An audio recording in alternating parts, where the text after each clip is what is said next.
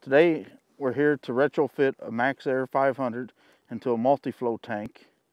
Uh, I had tank pumped yesterday and today there should be enough water in the tank to get the system to where we can get the, the multi or the Maxair 500 put in and take the Multi-Flo unit that has gone bad out.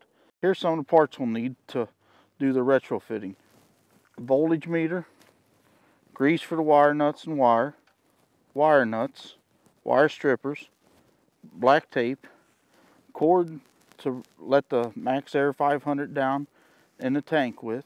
We will also need the Max Air 500 which does not ship with the legs attached. You will have to thread the legs in to put it in the unit to be a uh, complete and attached. First step is you remove the lid, top lid, move it out of your work area away. Then you go to the junction box lid, move the little lid where the wiring's done at. Move that lid. Next step would be make sure you have power shut off to your wires so you do not uh, get shocked.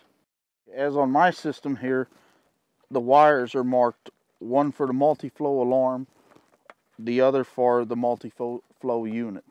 Uh, your system may not be marked, so you will need to check which one's for which and mark them before you disconnect everything to make it a lot simpler for you on reconnecting and figuring out which is which. Remove the inner lid, place out of your way. Now with the wires disconnected from the Multi-Flo, pull the wire cord through the junction box. You'll also pull it through the wire connecting hole down in the riser. There's an air hose that has to be disconnected with a threaded coupler. Unthread the coupler, regular union. Pull the aerator Multi-Flo aerator up out of the unit then.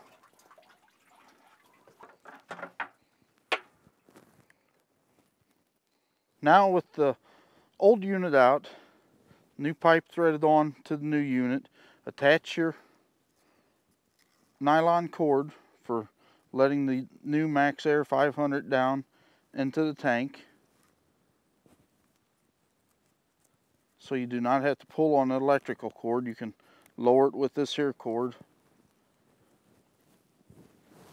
And when lowering it, also make sure that the tank has got water in it. I'd pumped my tank yesterday, so it has water, a day's worth of water, which is enough to get the unit submersed under the water like it needs to be for everything to work correctly.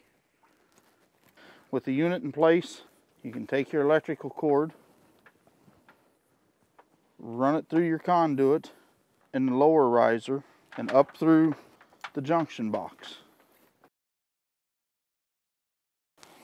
Now you're ready to reconnect your electrical.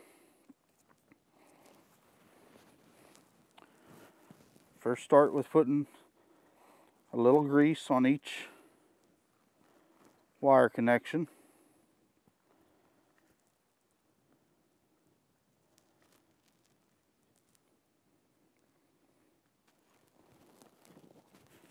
Take your wire nuts, wire connections.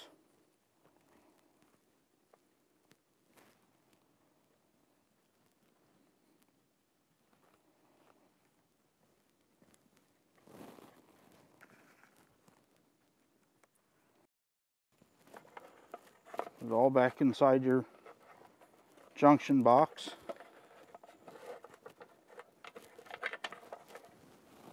Put your lid back on then you can connect your air hose for the Max Air 500.